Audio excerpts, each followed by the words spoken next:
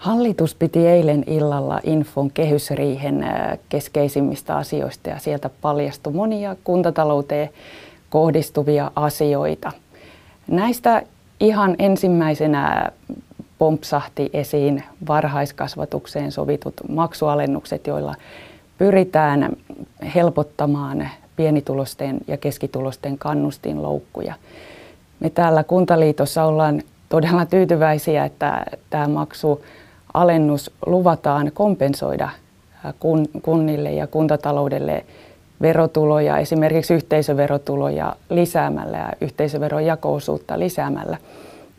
Mutta samaa hengenvetoa on kyllä lisättävä, että ollaan kuitenkin huolissaan siitä, että heikentääkö tämä maksualennus kuntataloutta ja onko tämä kompensointi riittämätön, sillä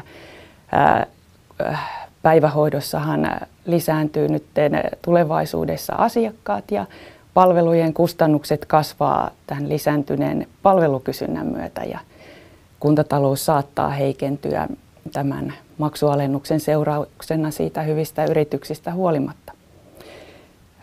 Toinen juttu, me ollaan pettyneitä siihen, että kehysriihi, kehysriihessä ei sitten päädyttykään käsittelemään homekoulujen tai esimerkiksi suureksi paisuneen korjausvelan umpeen kuromista millään tavalla. Tämä olisi ollut erittäin tärkeää terveyteen liittyvien syiden ja esimerkiksi työllisyyden paranemisen myötä, myötä kunnille niin kuin koko Suomen kansantaloudelle.